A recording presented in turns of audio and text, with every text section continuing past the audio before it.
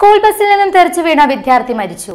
Malappuram Kuruva U P school മൂന്നാം class വിദ്യാർത്ഥി മുഹമ്മദ് ഫർസീനാണ് സ്കൂളിലേക്കുള്ള യാത്രാ മധ്യേ ബസ്സിൽ നിന്നും തെറിച്ചു വീണ് മരിച്ചത്.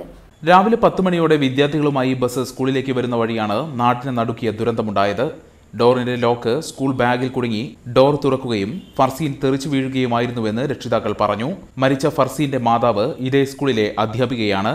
ഇവർ പ്രസവാവധിയിൽ ലീവിലാണ്. സ്കൂൾ ബസിന്റെ നിരുത്തരവാദപരമായ സമീപനത്തിൽ നേരത്തെയും പരാതി ഉന്നയിച്ചിരുന്നുവെന്ന് നാട്ടുകാർ പറയുന്നു. പ്രശ്നം എന്താ വെച്ചിട്ടുണ്ടെങ്കിൽ സ്കൂളിന്റെ ബസ്സിന്റെയാണ് വിഷയം. ബസ്സിൽ ക്ലീനറില്ല. ഒരു ആയോ ക്ലീനർ ആരെങ്കിലും വേണം ബസ്.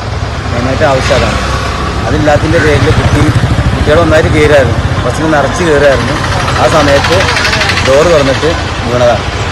വണ്ടി വലിപ്പിച്ചപ്പോൾ വീണു.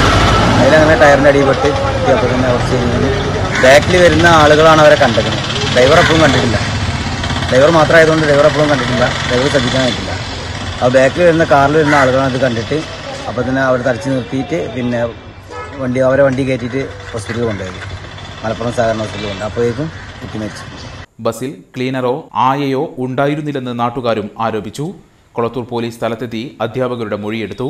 അധ്യാപകരോ ആയോ ഇല്ലാതെ വിദ്യാർത്ഥികളെ സ്കൂൾ ബസ്സിൽ കൊണ്ടുപോകാനുണ്ടായ സാഹചര്യം പരിശോധിക്കുമെന്നും നടപടിയെടുക്കുമെന്നും C W C chairman Shajesh Bhaskar പറഞ്ഞു.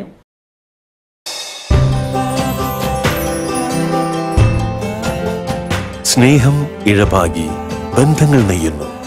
Zeenath silks and metro plaza Tirur road Kottakkal